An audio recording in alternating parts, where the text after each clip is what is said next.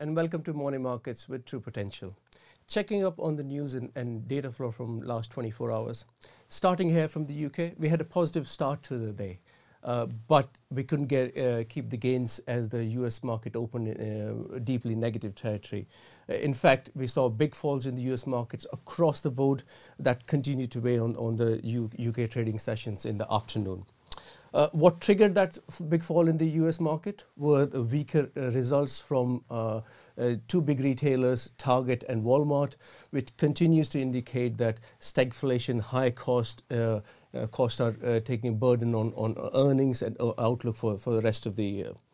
Uh, in fact, that was felt across all uh, all consumer sectors. Uh, again, the stagflation worries continue to to weigh on sectors overall.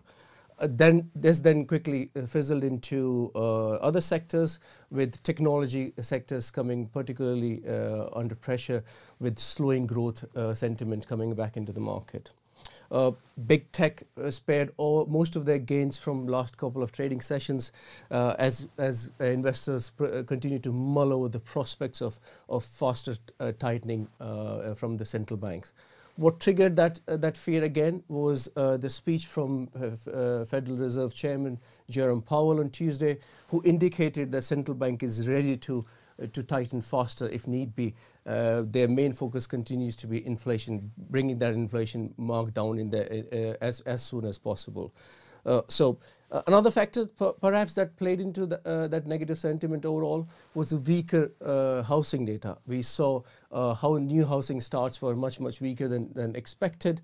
Uh, what was baking into that weak, uh, weakness in the housing starts was again the supply chain, supply chain constraints we have been speaking to you over the past uh, a few months. And also there is a labor shortage, which which they are uh, the companies are not able to get enough labor to st uh, start new homes.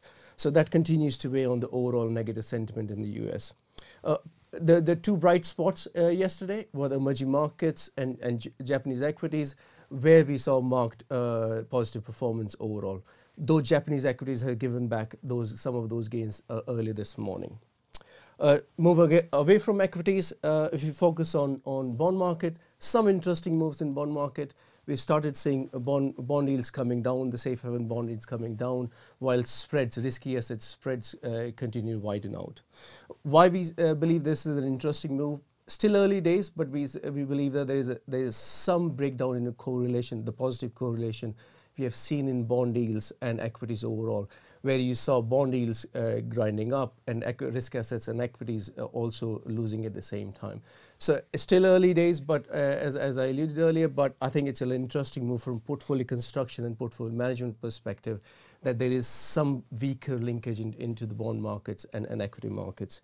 Uh, what is triggering that? Perhaps the indication that uh, yields in, on bonds have, have moved uh, enough for investors to start dipping into the safe haven buying assets.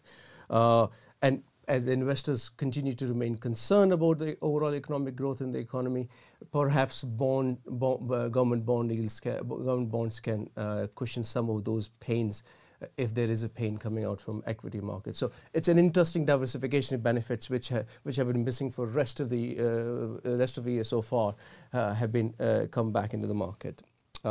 looking ahead, tomorrow we get UK retail sales data.